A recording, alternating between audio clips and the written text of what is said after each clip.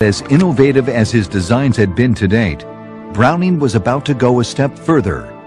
His genius would revolutionize gun design forever and bring about a permanent break with Winchester.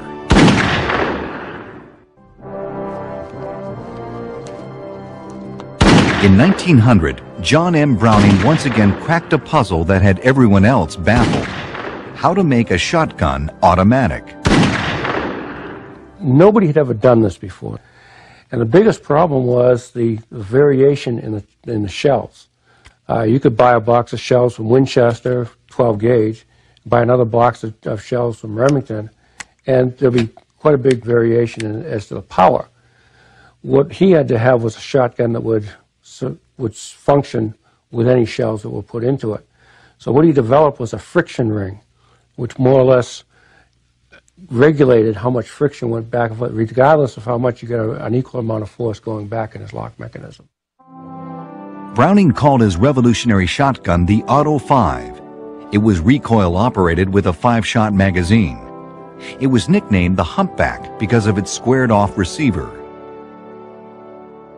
It works on what we call the long recoil principle, in that uh, when you pull the trigger and fire it, the barrel recoils a considerable distance. And it then runs forward again and strips the cartridge case out.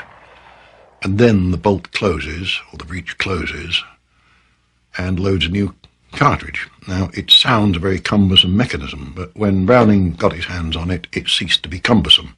And he made a very, very neat job of what could be a very awkward thing.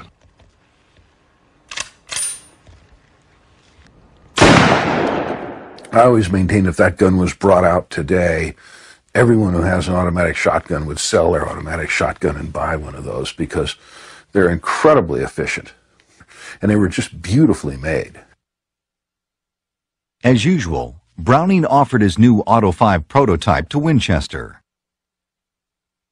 Winchester, until this time, had uh, bought 44 guns that Browning had invented, of which they had only manufactured 10. Now, some of the models were just modifications of what he was doing, but other guns were guns that they would buy to keep off the market. And so Mr. Browning didn't want this gun because he felt so strongly that it was going to be a big seller. He didn't want this gun to be purchased by Winchester and stuck on a shelf. Browning asked for new financial terms, royalties rather than Winchester's usual lump sum payment. The company's president, T.G. Bennett, refused. John Browning's relationship with the Winchester Company was over. Browning took the Auto 5 to another manufacturer, Remington. But only moments before a scheduled appointment, Remington's president, Marcellus Hartley, fell dead of a heart attack. This unexpected event forced John Browning down an equally unexpected path. He didn't want to risk being beaten to the market, so he took the Auto 5 overseas to Liège, Belgium, and made a deal with one of Europe's leading gun companies, Fabrique Nationale, FN for short. For centuries, Liège had been a firearm mecca, but recent times had seen business fall off. Over the next two decades, Browning would revitalize FN and the fortunes of the entire region. They called him the Master. John Browning began spending months at a time in Liège. He even learned to speak French by laboriously looking up every new word. But it wasn't only the instantly popular Auto 5 that kept him so busy. It was a radically different line of products, automatic pistols.